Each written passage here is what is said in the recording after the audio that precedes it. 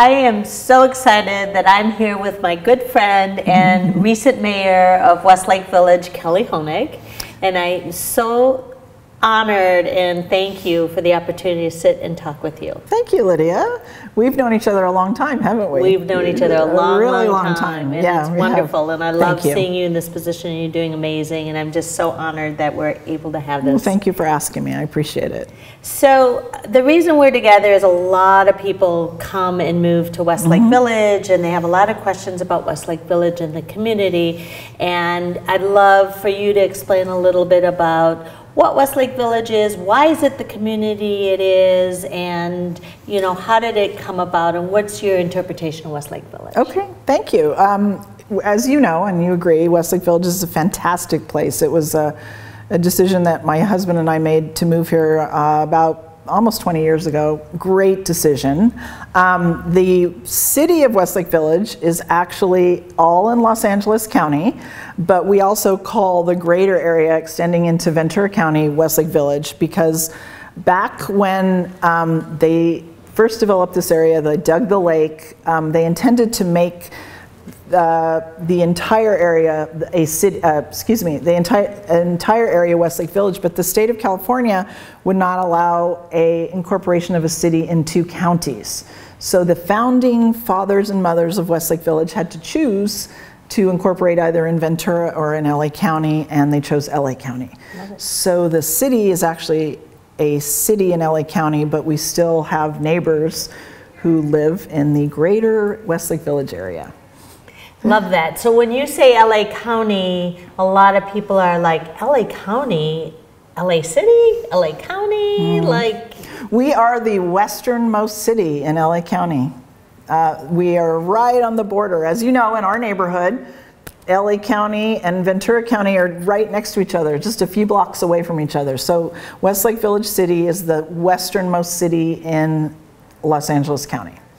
Another And- fun fact. and basically a fun fact of its own school district. And let's talk about what makes Westlake Village so wonderful. We do. Are, we are part of the Las Virgenes School District, and we have a elementary school in our city called White Oak Elementary, where our children went. It's a fantastic school. school. amazing school.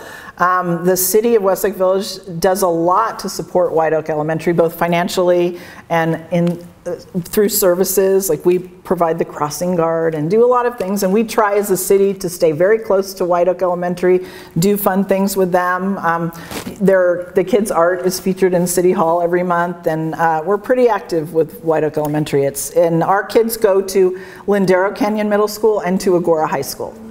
And I remember one of the things that we loved so much when we moved here was the school bus.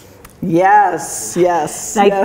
there's there's a school for, bus. There is. Thanks for asking that and bringing that up. I forgot about that. The city subsidizes the school bus. So, unlike many cities now, we still actually have a school bus system, which my kids and your kids rode. And And, the the kids still ride it every um, day. It comes into all the neighborhoods of Westlake Village, uh, goes to White Oak, Lindero, and Agoura High School. It's and partially subsidized by the city, which is fantastic. Fantastic. And just a quick note on that. The school bus only takes children to White Oak, then comes back, and then Mm-hmm. only takes kids to Lindero. So they don't mix high school and elementary schools. And it's just. They do not, yes. And logistically, it's pretty tricky to get that timing down, but we've got it down. Um, and bus passes every year are available here at City Hall and for a really reasonable price for the whole year. And it's great. My kids love the bus until they got. So let's talk about the people that are moving Mm-hmm. here. Why, I see a lot of reasons why I Mm-hmm. think why people are moving here, but from a city perspective, it's a very family oriented. Let's talk a little bit about what does the city of Westlake Village have to offer for both families and non-families, but there's a lot to offer. There is so much in Westlake to offer. Um, we have eight parks, and including a new dog park just around the corner here. It's a small but very mighty dog park that's very popular with our residents. Um, we completed in last year's a very large community park up at the top of Thousand Oaks and Lindero Canyon, which includes a amazing YMCA facility. It was a joint uh, venture between the city and the YMCA. Incredible, three baseball fields, soccer, everything, Y, is really fabulous. It's fabulous. We And- actually have a video, go on our website, on the YMCA. It's, it- it's beautiful, Mm-hmm. nice interview, lots of activities, but keep going. Yeah, and then we just, you know, pretty much every neighborhood, not every neighborhood, but, uh, you know, we have many parks here. Um, It's really important to the city to have this park space, maintain it to a very high level um, with kids' equipment and activities for uh, people of all ages. We just completed a beautiful sidewalk project on Lindero Canyon. The, uh, we call it the meandering sidewalk, which is a um, very picturesque walk mile long from um, Lakeview Canyon all the way up to Agoura Road uh, with seating and uh, place for your dogs. It's really fantastic. We're getting a lot of great feedback on that. Beautiful, yeah. One of, that's one of our goals as a city was, you know, we have a sidewalk plan that extends out for many years and we're trying incrementally to increase the amount of walking availability for our residents, which is really important to us. And activities, there's a lot of activities that Oh, the yes. city of Westlake Village puts on. We do. We have a whole summer concert series that goes on every summer beginning in June um, with a variety of activities, uh, excuse me, a variety of concerts of different types for our residents from uh, concerts in the park, in one of our parks, Bernice Bennett Park, to things we have here at City Hall, like big band concerts. We have sometimes the New newest symphony comes and does a production here, uh, Conejo Players. Um, so this goes on from June till September. At the same time, we have a trolley. Westlake Village has a trolley, which is really It's adorable. great. It's a, it's an adorable. Singing on the trolley. Yes, It's we so have entertainment on our trolley, and Yeah. our trolley takes a meandering route through the city. So if you want to go out on Friday night, you can hop on the trolley, go down to the restaurant of your choice or to the Stonehouse, have a drink, have dinner, hop back on the trolley, and go home. It's fantastic. Um, we have Westlake Village Reads, uh, which we do in conjunction with the library. Um, uh, you know, activities, we have a whole, we, we contract with the Conejo Park and Rec uh, District for a variety of classes that are available to our uh, senior members of the community. They're done right here in the room. We've got Tai Chi, we have yoga, we Oh have. Zumba, we have all kinds of things. They're packed, very reasonable. I believe that the price for an eight-week program is about $10 for Oh a- senior resident. Again, subsidized by the Yes, city. it is. And they're very popular, really popular. Yeah. So, So lots of activities, Fourth of July, I think oh, yes, thank you for reminding me. Yeah, just remind me. Uh, we've had the, the 4th of July parade in Westlake Village for 50 years. Oh, my God. Last year was the 50th anniversary. This year will be the 51st. So it's a traditional old town parade where we walk from Lake Buchanan to Bernice Bennett Park. And then we have a bunch of activities in the park from bouncers to games to a DJ to a Boy Scout ceremony. Um, yeah, 50 years we've been doing that. And so Mm-hmm. here, I think on Halloween, there's a Halloween festival. City celebration, Celebration. which takes place in um, October, usually a couple weeks before Halloween. One of our biggest events uh, of the year, where it's just that. It's a city celebration. We are here to showcase, you know, how fantastic Westlake Village is. We have music, we have food, uh, we have a haunted house put on by the. Uh, I believe it's the Y. The um, there's something for everybody to do, from a one-year-old to a 90-year-old on City Celebration. It's a really big deal. We, it's one of our favorite days of the year. So lots of activities, lots Yes. of festivals, lots of things always going on in the city for people.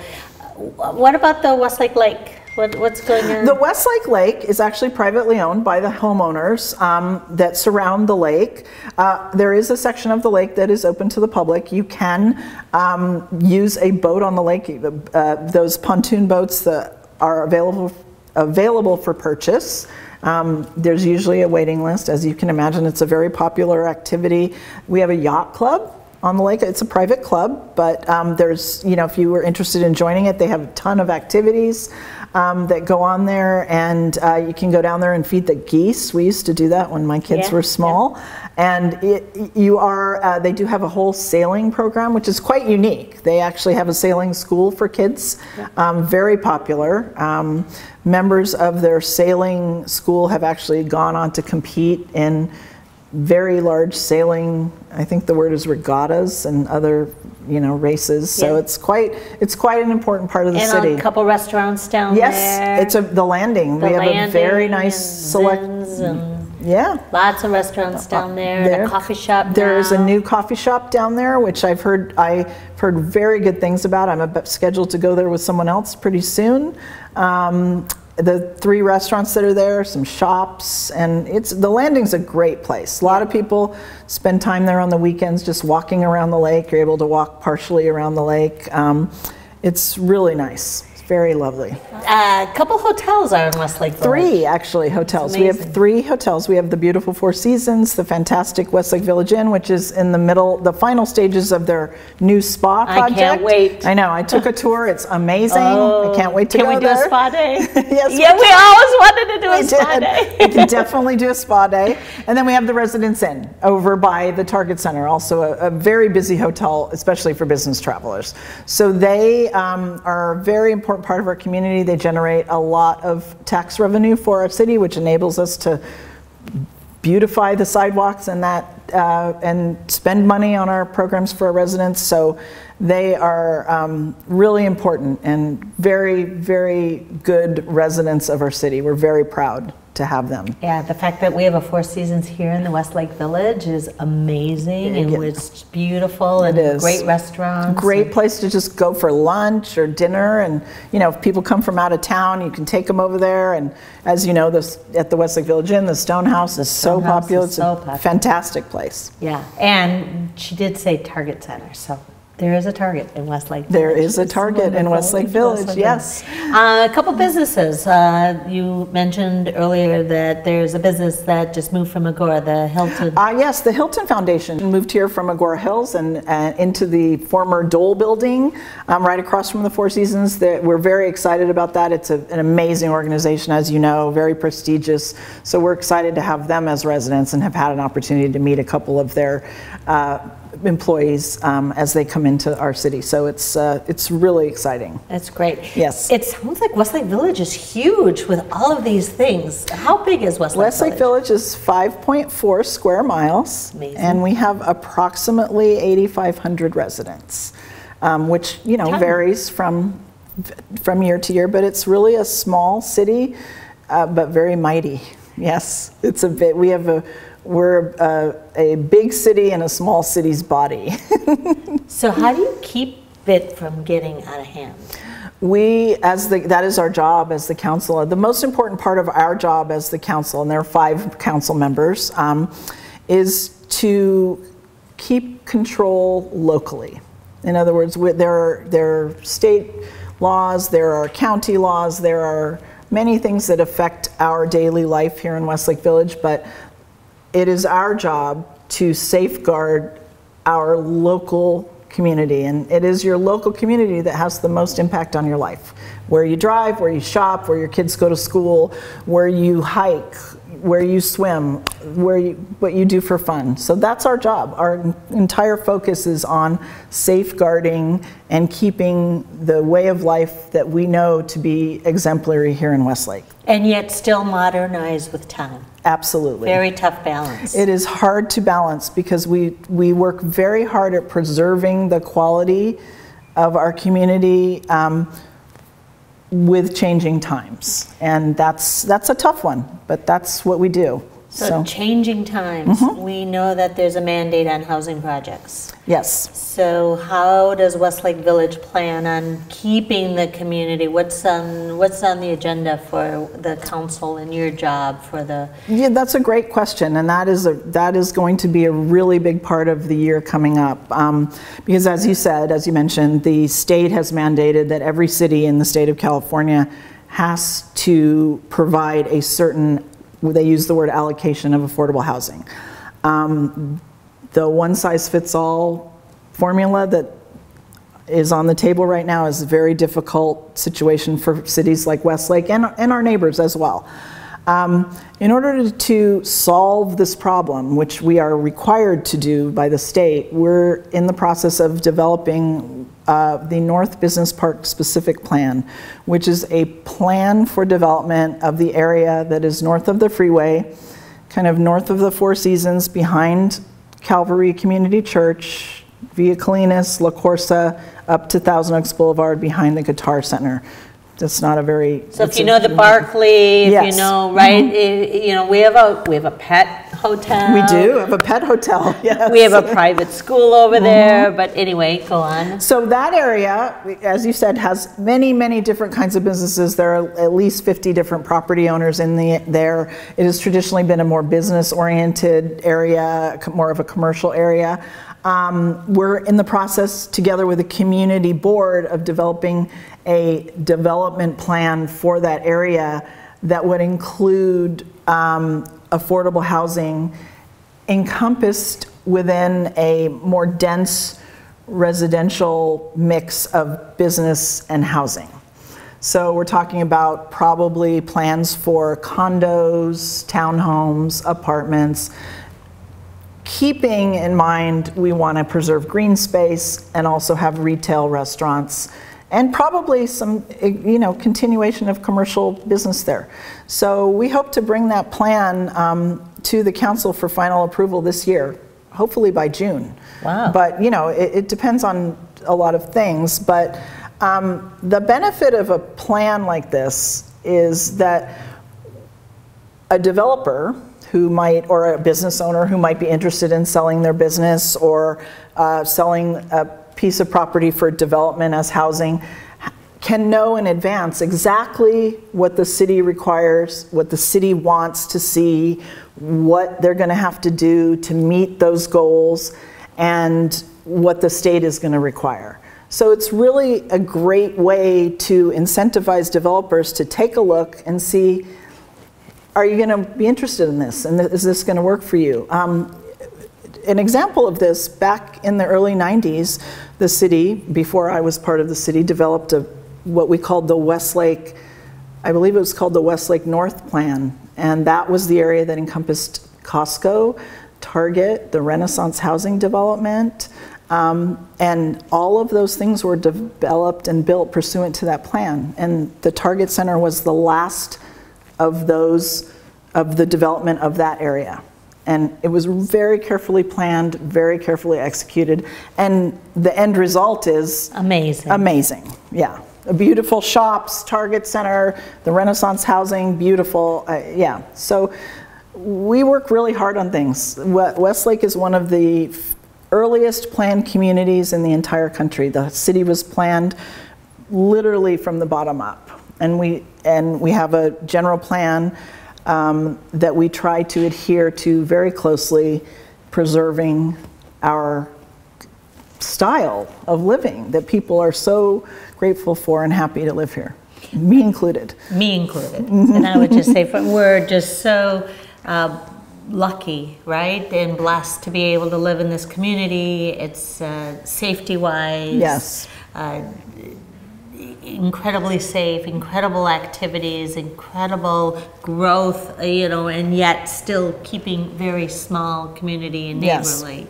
Um, is there anything else? Um, so that's amazing for a housing project to be able to come to Westlake Village and be Mm-hmm. able to be, you know, come through the state but be planned within Westlake Village. Right, so a developer knows right up front, okay, this is what I'm going to need to do if I want to come here. Very helpful on both ends. So, uh, in closing, is there anything else you want to share with us as the new mayor of Westlake Village? And we're just, again, so thankful that you took the time to us It's my today. pleasure. It's my pleasure. I'm very proud to be the mayor of Westlake Village. Um, it's an unbelievable place to live. Uh, I did want to say, uniquely, um, this year in 2020, uh, the mayors of four of our adjacent cities are women Calabasas, Agoura Hills, Malibu, and Westlake Village. And this is significant because in 2020, we are celebrating the 100th anniversary of the 19th Amendment, the passage of the 19th Amendment, which granted women the right to vote. It's amazing. It is amazing. So the four women mayors have gotten together, and we're going to be doing a, a community project together, um, which I think is is Something to celebrate. something to 100%. celebrate. Absolutely, it's a it's a great opportunity, and it says a lot about where we are today in Westlake. So uh, love it. Yeah, thank you. I love it. Congratulations. Thank you. Thanks for having me, Lydia. So as you can see, there is just so much going on in Westlake Village, and it it really is a great community. It's a great place to raise your family. It's a great place to retire and live. There's lots of activities, lots of opportunities. There's so much more that we can. If you have questions, we can give you uh, Kelly Honig's. Uh, email you can ask her specifically Uh, she's wonderful and there's meetings and anything you could want, but I'm just so honored and thankful that I know her and we are able to spend the time. So if you have any questions, again, thank you for watching and we'll see you next time around. Thank you for having me, Lydia. I appreciate being here.